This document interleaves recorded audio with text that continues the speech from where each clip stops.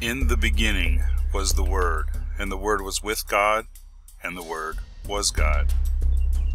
In modern Western philosophy, the focus is on the individual, the me, myself, and I. In contrast to this, the ancient Hebrew or Eastern philosophy always focuses on the whole or the community, the us, our, and we. When we read the Bible, we must interpret it according to the culture of the ancient Hebrews and their Hebrew Eastern philosophy, and not from our own modern Greco Roman Western philosophy. In the Hebrew philosophy, the goal is the elimination of self, or the ego.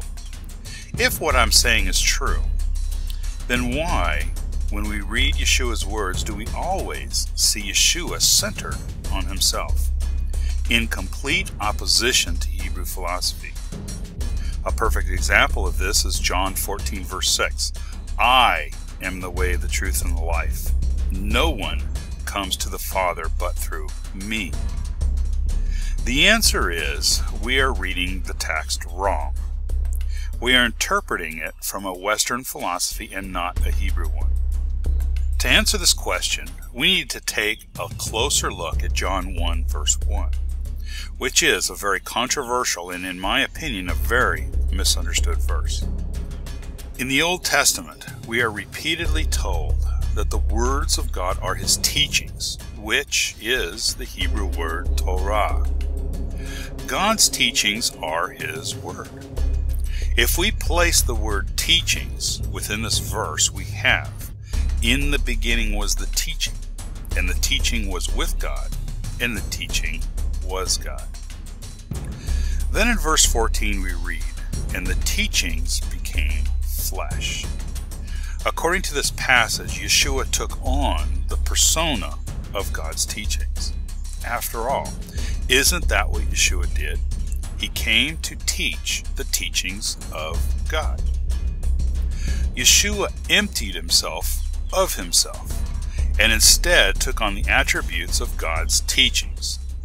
Therefore, whenever Yeshua speaks, it is not Yeshua speaking, but the teachings. When Yeshua says, I, the I is not Yeshua, it is the teachings. When we look at John 14, 6 again, but with this understanding, we can read this as the teachings of God are the way, the truth, and the life. Interestingly, this is exactly what God teaches in the Old Testament.